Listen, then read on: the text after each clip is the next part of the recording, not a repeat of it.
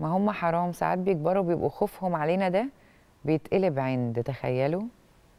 محدش عارف قد إيه إحساس إنه تفقد أمك وربنا ما يوريه لنا ابدا.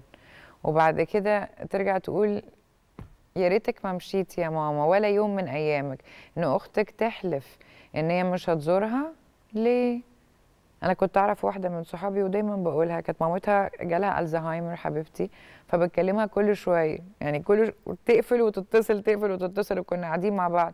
تقولي أنا زهقت. النهارده عدى مثلا أربع خمس سنين تتمنى إن أمها تكلمها ال 24 ساعة. دقيقة من ال 24 ساعة. وارجعي يا ماما زني ال 24 ساعة.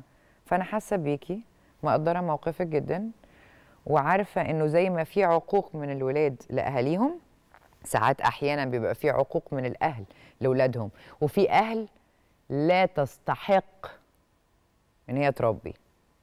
كل ده مش مختلفين فيه بس برضه الأم أم.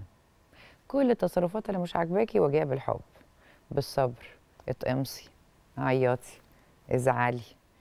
آه قولي لها أنا ما أعرفش أعيش من غيرك. أنا مفيش حاجة اسمها ما بيخشش عليها الكلام ده.